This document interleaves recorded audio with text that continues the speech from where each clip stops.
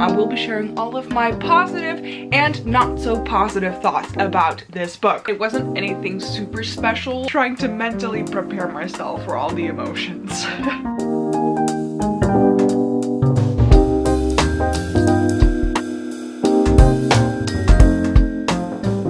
guys, my name is Sabine and welcome to another video. I am so excited for today's reading vlog because I'll be reading my favorite author's books and that is Taylor Jenkins Reid. I think the majority of us here in the book community are extremely excited for the release of Malibu Rising. I believe this one is coming out, depends on where you live, at the end of May or the beginning of June and I am just really grateful that Penguin Random House sent me this arc and I got to read it early and I will be sharing all of my positive and not so positive thoughts about this book. But because in Malibu Rising we follow the offspring of famous singer Mick Riva, who is one of Evelyn husbands, Evelyn Hugo's husbands, wow, that was difficult to say. I really wanted to give this book a reread. I've read it previously in 2019 and it has become one of my favorite books and I just wanted to give it another reread to refreshen my memory.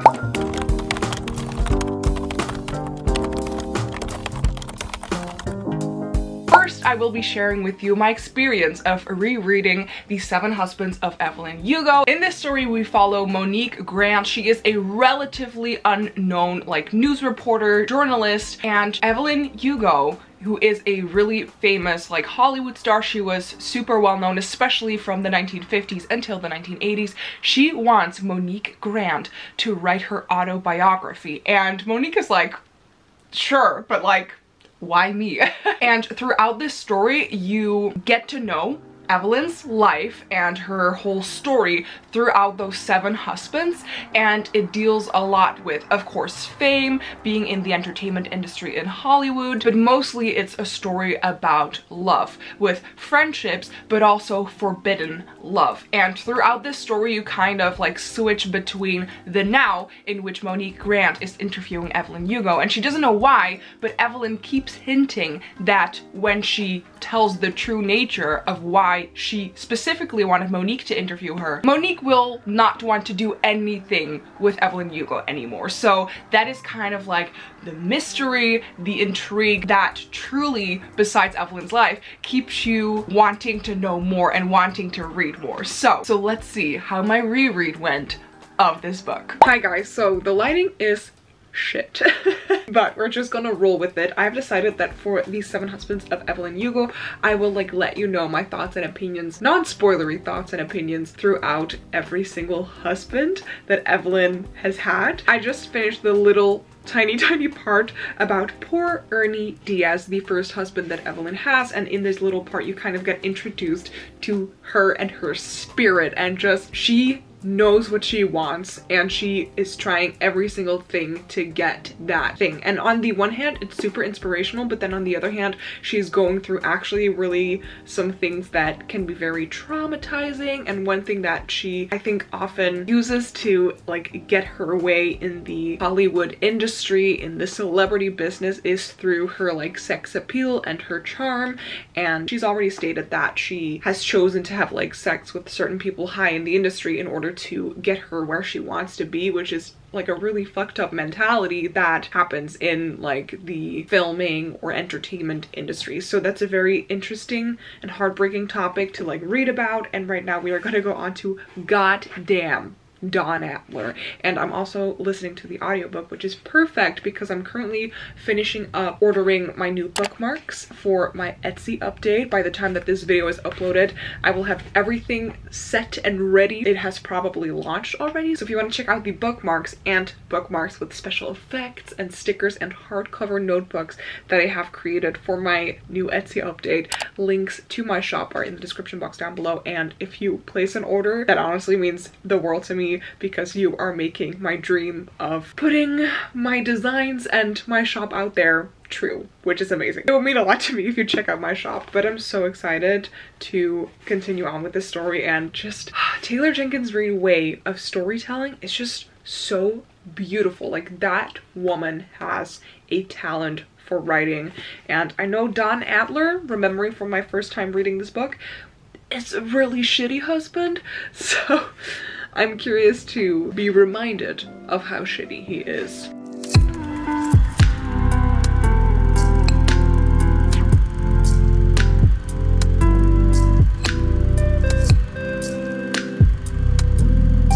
I was planning on giving an update after every single husband, but have I? That's the question. okay, I think I said what I thought of Don Adler. He's just a shitty person. But then we had gullible Mick Riva. And this is the husband of whose offspring we will be following in Malibu Rising. I don't know if that was a correct sentence, but whatever. And he was actually not that amazing. Without giving away any spoilers, he was kind of like using Evelyn while she was also using him for something. So I don't know, man, like Evelyn is also sometimes not really doing the correct things. But I always feel like Evelyn owns up to it. Like she knows she's using people and she just like freely admits to it if that gets her to where she wants to be. And now I'm on page 182. We're almost on to Clever Rex North and we shall see what he has in store for us because I don't remember. okay, I curled my hair and in the meantime I listened more to The Seven Husbands of Evelyn Hugo. Oh my god, just this whole rereading experience makes me realize that this is indeed one of my favorite books of all time. And I feel a little bit unoriginal with that opinion, but whatever, it's just such a good book. So I finished reading the relationship with Rex North. It wasn't anything super special. Now I think we're on to my favorite part, the most beautiful part, and also the most heartbreaking one, which is called Brilliant, Kind-Hearted, and Tortured Harry Cameron. This book is like 380-ish pages and I have 140 left and this is gonna be the most painful part of the book so I'm kind of trying to mentally prepare myself for all the emotions. so you guys, I just finished the part where Harry Cameron is one of Evelyn Hugo's husbands. And like I said, it was very beautiful and really heartbreaking, which I don't know, makes it even worse. But right now I'm gonna go on to Disappointing Max Girard. And I know the story is only gonna like become even more sadder and like just, it will play with my emotions and I'm not ready for it. Also, my camera's dying, so I feel like this is a good sign for me to read more of this story and probably maybe finish it today.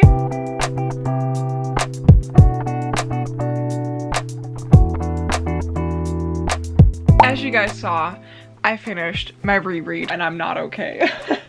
Just the emotions. Oh my god. This reread has confirmed that this is maybe my all-time favorite book. Taylor Jenkins Reid writes such realistic and complex characters. The story of Evelyn Hugo and her life in general, her loved ones, the losses that she's had, it's just so painful and so raw. Taylor Jenkins Reid is a genius, okay? If you haven't picked it up yet, please do so. It is just so incredibly gorgeous. Wow, just wow. It is still one of my absolute favorite novels of all time. Well, all of a sudden I became a New Yorker.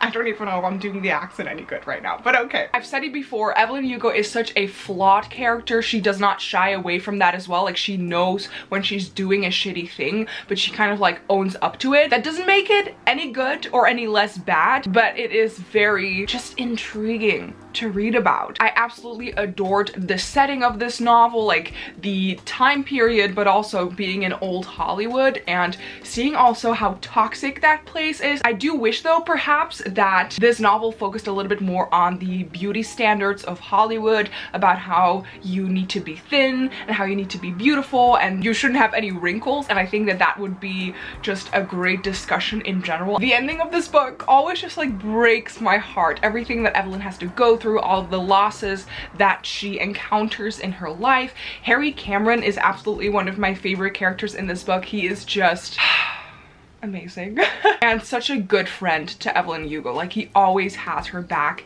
and they care so much for each other and their friendship is just so wonderful to see the forbidden love aspect of the story is just so beautiful and so touching and I want like everyone to read this book because it's just so beautiful. But now that I finished that, I will be picking up Malibu Rising. Oh my god, so excited.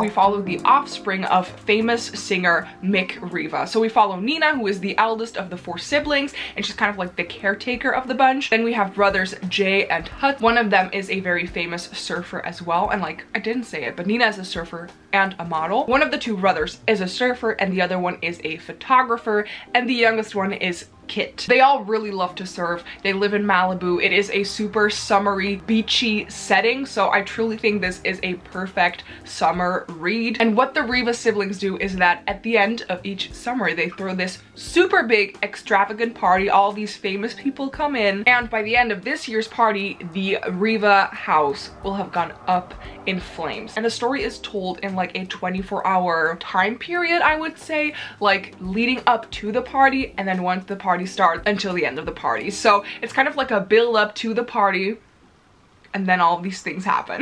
Today I have my birthday live show because tomorrow I'm turning 22 yes but i have read around 60 pages of malibu rising and first of all i want to say that i already feel like this one will be another hard-hitting novel. The setting is already described so beautifully and I personally love the summer. It's my favorite season. I also love the beach and I also personally scuba dive or like I have scuba dived. It's been four years almost. But I just love the ocean and swimming in general. And if you love that too, I think that you will really enjoy the setting and just the whole summery vibe of Malibu Rising. And I am looking forward to getting more into it. So if I'm like let's say maybe halfway through or something, I will give you another update about how I'm feeling about the book. I'm just really excited. You guys, it is time for a Malibu Rising reading update because yesterday I reached or almost reached page 200 so I'm officially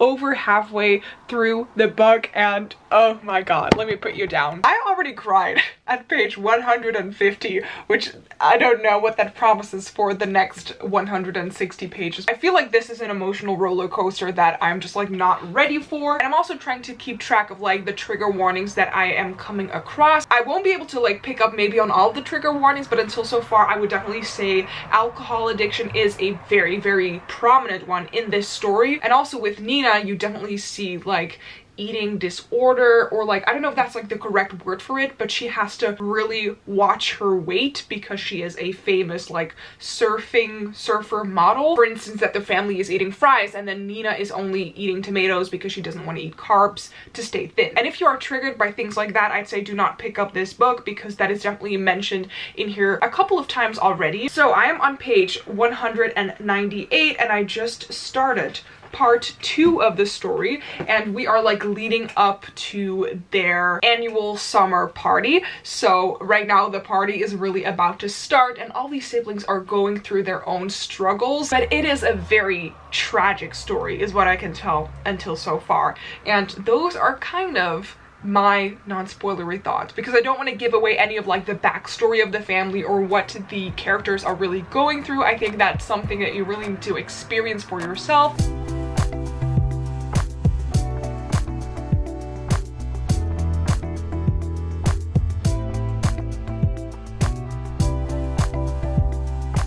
This is not like a first person told story, if I can say it like that, but you do kind of follow the perspectives of the Riva siblings, especially in the first half leading up to the party, but you also get to hear their backstory of how Mick Riva, their father, met their mother, how their childhood was. It is very devastating. There's a lot of talk about like alcohol addiction, so that is definitely something that you need to look out for if you are triggered by that. I will leave, by the way, all the trigger warnings in the description box down below because there are plenty for these books. They are not like just light and fluffy contemporaries that you just read without any trigger warnings. The story of June of their mother is just so heartbreaking and got me crying already. Like page 150 and I did not expect to be that emotional early on in the story. So when I was reading this book at the beginning I felt like oh my god this is gonna be another new favorite Taylor Jenkins Reid book. But then we had the build up to the party. And after the party starts you don't only follow the perspective of the Riva siblings anymore which I really enjoyed and was really invested in